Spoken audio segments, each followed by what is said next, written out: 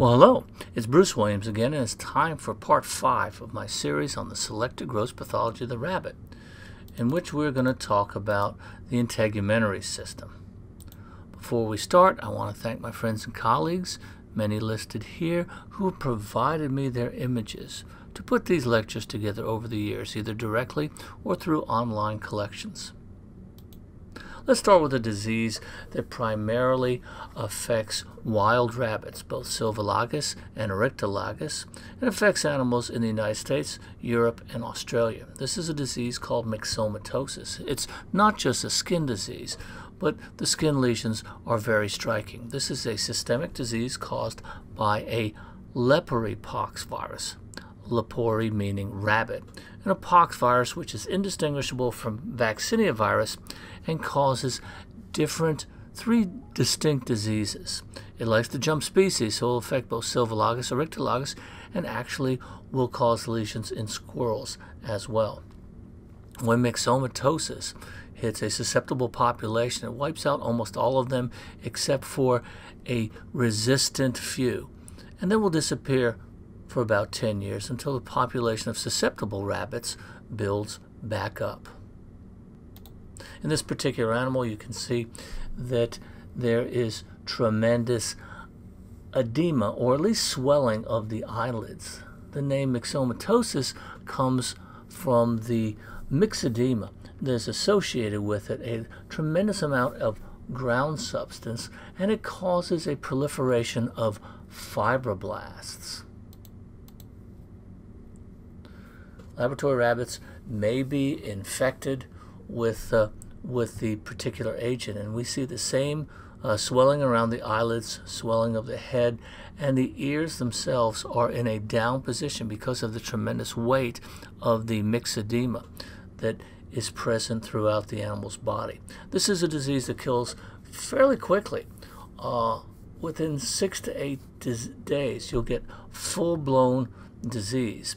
Uh, following uh, inoculation by a flea or tick, which generally spread the virus, a small subcutaneous mass will show up at the inoculation site within three to four days. Um, then you get full-blown disease, which includes mucopurulent conjunctivitis, uh, large numbers of areas with myxedema in the skin, um, and effects within the lungs and other organs. The animals are also very uh, immune suppressed as well. There rarely are peracute deaths where the animals just drop over, um, with the only sign being sort of a mild conjunctivitis. But usually you'll see the very characteristic signs of swelling throughout the subcutaneous tissue. And this is a wild rabbit, and somebody has incised the ear, and you can see the tremendous amount of myxedema within the tissue. You'll see changes in a number of organs, including type 2 pneumocyte hyperplasia. You'll see uh, lymphoid depletion within lymph nodes and the spleen, and generally the high mortality rates are the result of a combined multi-organ dysfunction and secondary bacterial infections as a result of viral immunosuppression. The skin lesion is very characteristic, and this is a cut through the ear once again, and you can see just the tremendous amount of edema in this tissue. And if you look at higher magnification, you will see a proliferation of these atypical fibroblasts, which often have uh, eosinophilic inclusions. These are known as myxoma cells and are extremely characteristic. The overlying epidermis may be somewhat hyperplastic, but as opposed to the lesion I'm going to talk about in a minute, does not have the characteristic uh, pox viral inclusions. They are restricted to these proliferating fibrocytes within the dermis. A second type of, uh, of lesion that is associated with the same Shope, uh, the same uh, uh leporipox virus is something that's called a Shope fibroma. But these are single, occasionally multiple uh, neoplasms of fibrocytes within the dermis. They're generally self-limiting in wild rabbits. Very rarely you may see visceral metastasis in very young rabbits, but they're because they are uh, composed of fibrocytes. They are extremely hard, and you'll see the viral inclusions within these proliferating fibrocytes, as well as the overlying epidermis, a very nice uh, ultrastructural picture of the intracytoplasmic uh, viral particles. Um, the there's also viral protein. And a lot of times when we're dealing with RNA viruses and we see these really large, beautiful inclusions, they're often not viral particles. They're aggregates of viral proteins, either perhaps in some cases virus particles in assembly, um, but most often sort of junk proteins that the uh, viral incorporated viral genome causes a cell to make, but often don't use, and they will aggregate within the cytoplasm. So that is the Shope fibroma. Uh, in squirrels, and we're not talking about squirrels, so I didn't put a picture in, but uh, infection with the same Leporipox virus is going to cause something that looks very similar to uh, Shope fibromas. They're usually multiple. Um, they're called squirrel fibromas. Some people call them squirrel pox. And it's like having a lot more of these Shope fibromas. Uh, in outbreaks of myxomatosis, uh, people have used, to some effect, um, virus that they've taken from ground up Shope fibromas, um, hoping that it was would offer some protection. And, and, I'm not sure if it's all that effective, but uh, just realize that the two it's essentially the same virus. There obviously is some differences within the virus that would it would act uh, in some uh, populations just to wipe them out, and in others just to cause cutaneous lesions. Shope fibroma, myxomatosis, and uh, beautiful viral inclusions in the proliferating fibroblasts in the dermis and in the Shope fibroma, the overlying epidermis. Here's an interesting uh, uh, gross appearance that uh, some people might confuse with myxomatosis because of the tremendous swelling of the skin of the head. I don't think that the head's swollen because he's gripping it all that hard, or she is gripping it all that hard. And this was a, uh, a condition that was first published in uh, 2008 in Veterinary Pathology. There's only been a couple of outbreaks.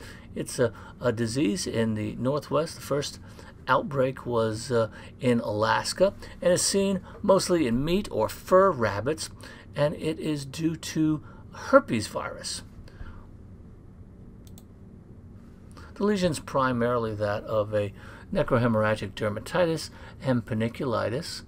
Um, but these animals also have necrosis within the myocardium, pulmonary hemorrhage, and massive necrosis and fibrin deposition within the red pulp of the, of the spleen.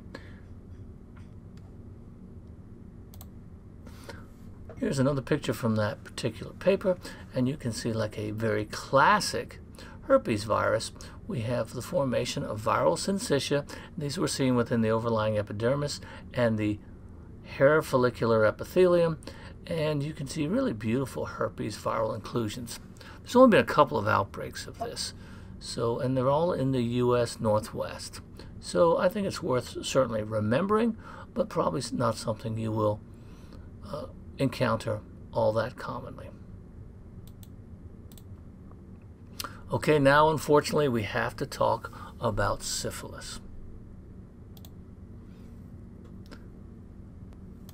Syphilis in rabbits is not the same as syphilis in people, also called by, caused by a treponeme, Treponema paraluis-cuniculi in the rabbits, but does not have the chronic uh, visceral disease that has been associated with syphilis in man. It also is transmitted venereally, although you can have transmission through extragenital contact by uh, one rabbit sniffing the, the bottom end, uh, or even the face of another infected rabbit. Because this organism is able to penetrate intact mucous membranes, it often will do that and set up a lymphoplasmacytic chronic crusting lesion within the mucosa of the genitals, less commonly of the uh, the nares and the eyes as well. Susceptibilities often age and breed dependent, so more severe lesions will be seen in younger animals.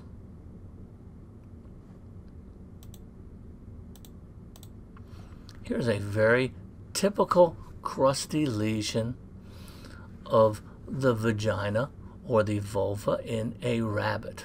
The hair is matted, it is sort of weepy, but it's a dry, non-ulcerative lesion at this particular point. Here's one where the scab has been removed, probably a younger rabbit who has contacted another, and uh, there's often a lot of sniffing going on um, uh, between strange rabbits. If there's not fighting going on, you never want to put two uh, bucks together, they will tend to fight each other. And because they don't have business cards, they sniff each other, and we get these sort of crusty lesions. Someone has pulled or ripped this scab off.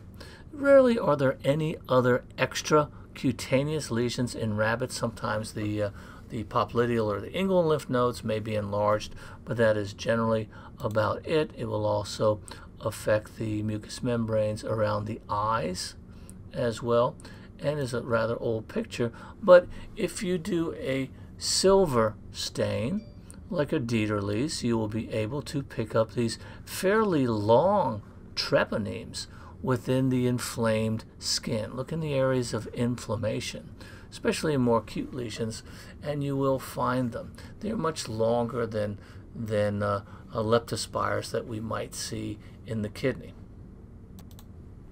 Okay, moving on to some other skin lesions, not traditionally a skin lesion, but this is a large staphylococcal abscess.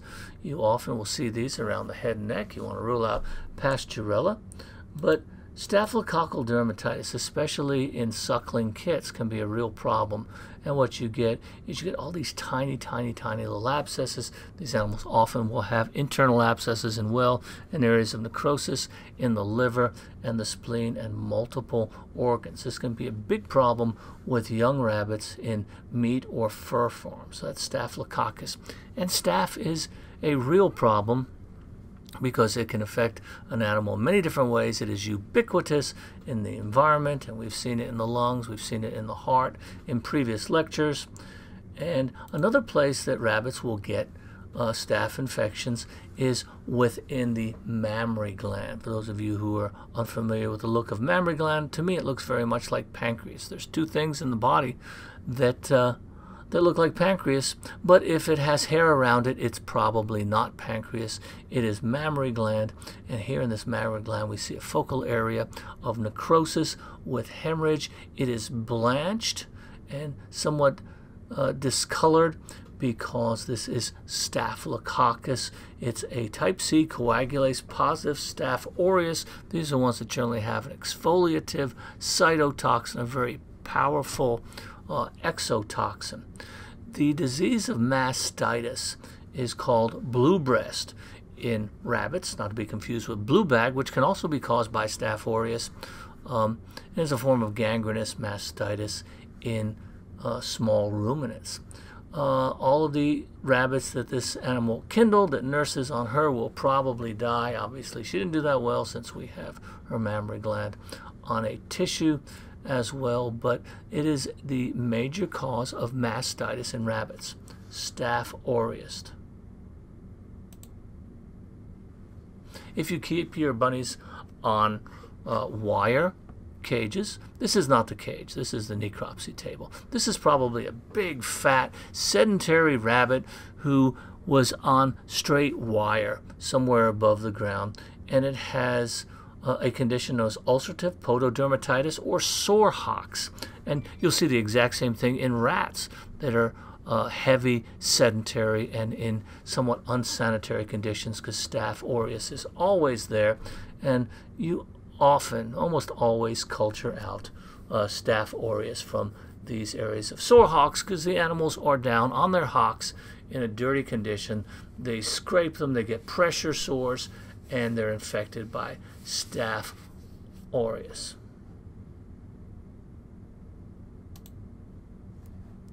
Okay, this is a very stinky ear, um, and it reminds me of cornflakes. It's diffuse hyperkeratotic uh, otodermatitis or aural, A-U-R-A-L dermatitis.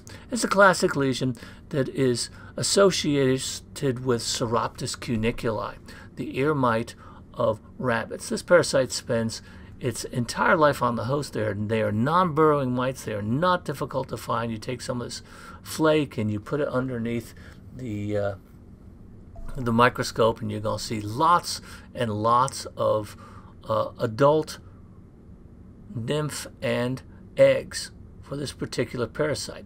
These animals are intensely pruritic. There's a, a really bad inflammatory response to this, and uh, they are often secondarily infected, and the ears often smell to high heaven. There's a three-week life cycle for this parasite, so it can uh, it can really quickly build up some really uh, significant numbers in affected ears, up to 10,000 mites in each ear.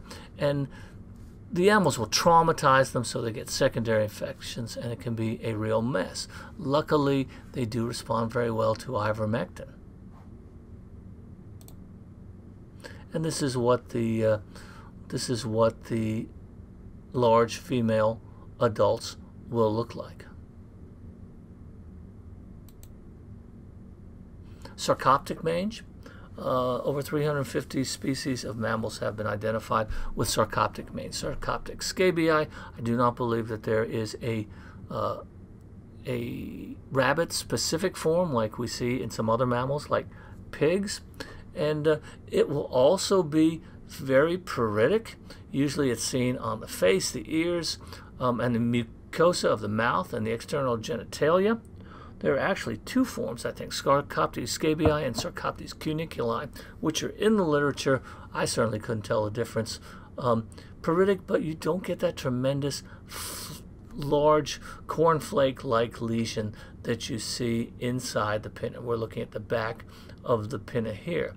And another type of mite that you will see in rabbits, uh, which is referred to as walking dandruff, not terribly severe, is Cheyletiella. So they get a number of different mites as external parasites. If you are dealing with uh, wild rabbits, especially young wild rabbits, you may see a structure like this. Here's the head of the rabbit. It is sort definitely not what some of you are thinking right now. These are actually maggots. Um, these are fly larvae, the larva of Cuterebra emasculator, which will lay its eggs in the open wounds of any type of mammal. And uh, young animals tend to be more effective. They're not as good as escaping the predator. And this one actually has two of them.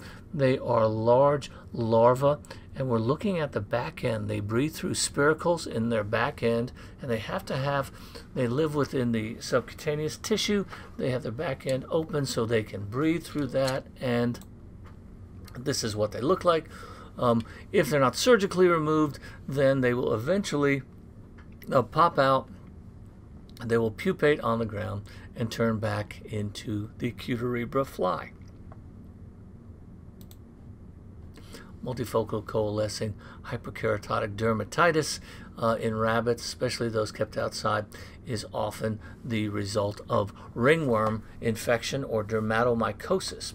Usually in rabbits, it's trichophyton mentagrophytes, uh, which is a geophilic uh, type of ringworm, primarily lives within the soil, but they do occasionally get infections with uh, Microsporum canis, which they can get from dogs or cats. Most often seen on the face and the neck to start with, with a spread to the feet. It has a very typical histologic presentation that we see in dogs and cats, um, where you have inflammation which is centered on the follicles. Uh, dermatophytes only live in dead tissue, so they will live within the, the uh, uh, outer sheath of hair shafts where you can easily see the arthrospores, and the inflammation will uh, track those infected follicles, ultimately resulting in uh, folliculitis and occasionally furunculosis. Uh, it often generates immunity, so infections are most commonly seen in young rabbits rather than older rabbits. Okay, this is a, a very scurfy disease with hair loss, which somewhat separates it from the mange that we've seen and dermatophytosis. This hair is epilating or coming out very easily. This is a rare condition in rabbits, which is an exfoliative dermatitis and sebaceous adenitis, which is seen in association with uh, or may not be with thymoma as a paraneoplastic or may exist on its own. Sebaceous adenitis. It's not pruritic. It's not easily treated. Histologically, you can see a follicular interface dermatitis and folliculitis. Uh, obviously, reduction in the sebaceous glands and long-standing cases dermal fibrosis. But make sure to check these animals for the presence of a concurrent thymoma.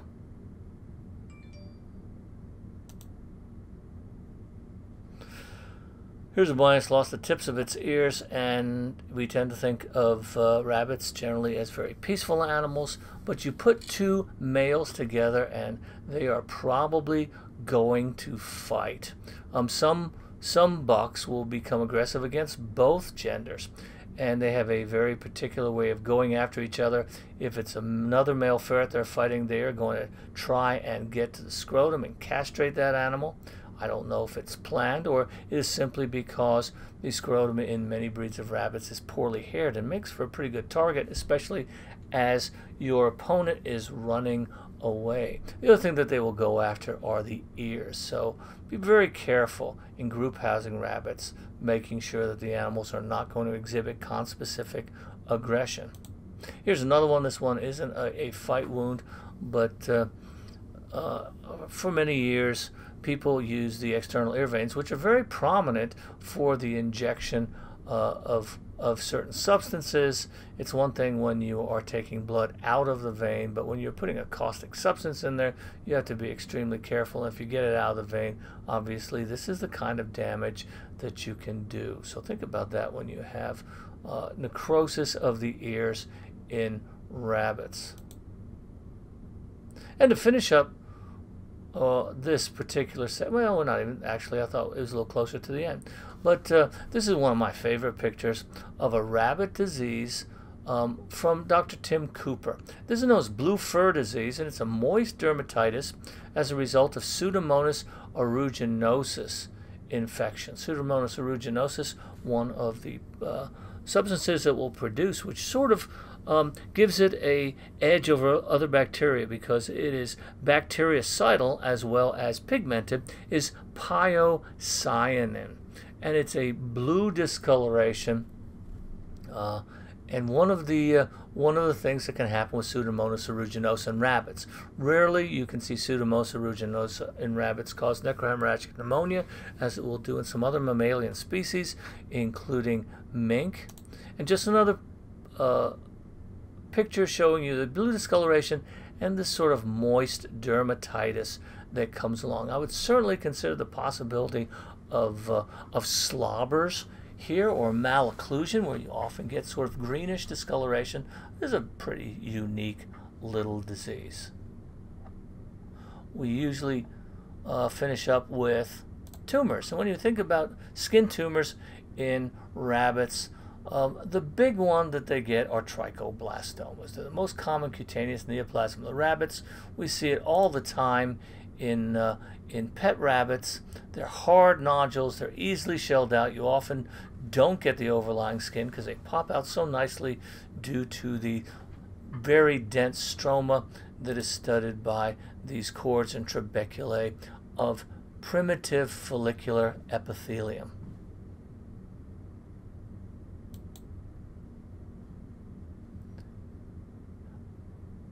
Another tumor of the rabbit is caused by not the Shope fibromavirus, which we've already talked about, but the Shope papillomavirus. Dr. Shope was an NIH researcher, did a lot of work with viral diseases in laboratory species. So he has his name on a number of them. He has a, a pox virus, he has a papillomavirus named after him.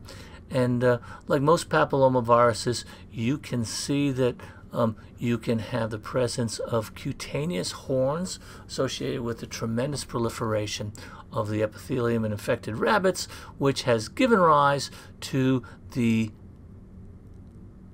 myth of the jackalope. So if you are a, uh, looking for a jackalope in the western United States, you may find one, but it's going to be the result of papillomavirus infection. In cottontail rabbits, it usually causes uh, these papillomas and maybe cutaneous horns, but when it's injected into Oryctolagus, you have a much higher rate of malignant transformation of papillomas into squamous cell carcinomas, which don't produce any infectious virus. Remember that uh, there's a tremendous emerging body of evidence in the last decade which links papillomavirus with uh, squamous cell carcinomas, and a number of species and rabbits are no different. Um, they can, in the cottontail rabbit, either regress or progress onto carcinoma. And in, when injected into laboratory rabbits, they're a model for viral induced malignancy as well as hypercalcemia of malignancy. So it does a whole lot of very interesting things for a papillomavirus. A recent publication within the last uh, seven or eight years uh, looking at skin lymphoma in pet rabbits showed that it is a very common uh, finding in rabbits and the vast majority, the majority of these are uh, T cell rich B cell lymphomas.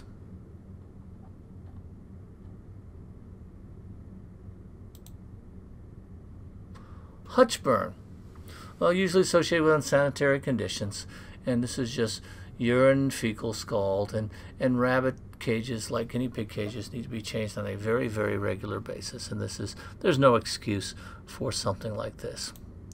Also, you can have animals which will rub the uh, fur off its face trying to get to an ill-placed feeder or waterer, or sometimes they'll do this just from boredom or it feels good. So there's just a little bunny with the hair rubbed off its face. And we have actually looked at this particular one. I didn't know why. I just threw this one in. I didn't know I already had it. So this is our friend with uh, pyocyanin pigmentation. Again, and that brings us to the end of the diseases of the integumentary system of rabbits. I hope you learned something, and I hope you will feel that this is 30 minutes well spent and come back to the uh, Foundation's YouTube channel or Facebook page to see the next lecture on, uh, on rabbits, which will include the musculoskeletal system. And we'll throw in a little bit more, maybe. Uh, uh, maybe the urinary system as well. Hey, thanks for stopping by. Really appreciate it. Have a great day.